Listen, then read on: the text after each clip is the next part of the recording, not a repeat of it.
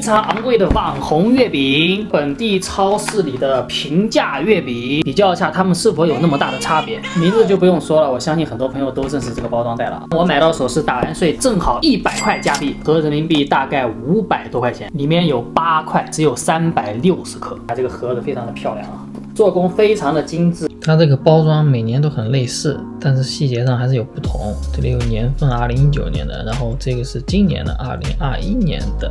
还有一层啊，哇，这也太小了吧！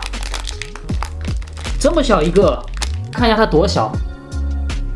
打开，这也太小了点吧！一百块钱买八个，也就是十三块钱左右一个，这一个就要六十五块钱人民币，真的是蛮贵的。没有比较就没有伤害。本地超市食品部大妈做的月饼，六块钱两个，这换成人民币也要十五六块钱一个呢。加拿大这个物价，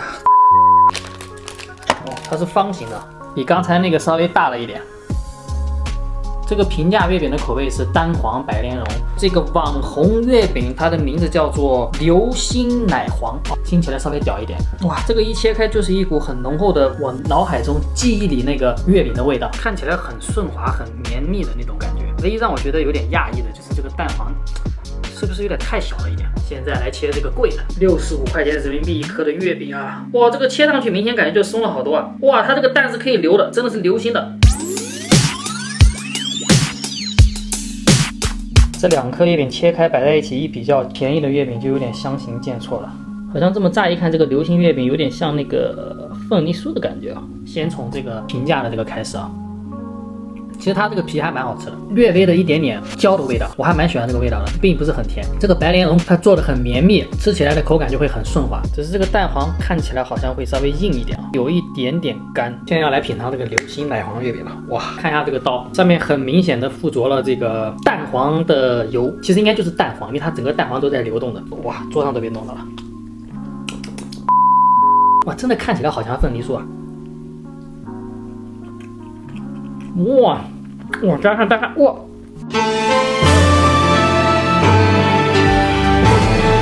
真的会流动的，很浓厚的那个咸蛋的香味，口感真的很像凤梨酥，就是比月饼要再酥一点、绵一点。你甚至不需要咬，真的可以入口即化。只要你上下颚那么一抿，基本上它就会散开。莲蓉的味道不强，但是会有很浓厚的奶的香味。我，还在流，大家看，吃了这半块月饼，我现在刀上、桌子上、手上都沾满了那个蛋黄，因为它真的是在流动的。我觉得除了这个流动的蛋黄以外，它另外一个比较厉害的就是它这个表皮特别的松软，而且很浓厚的那个奶香，这个的确是好吃很多哎。哇！啊啊，传说中的入口化。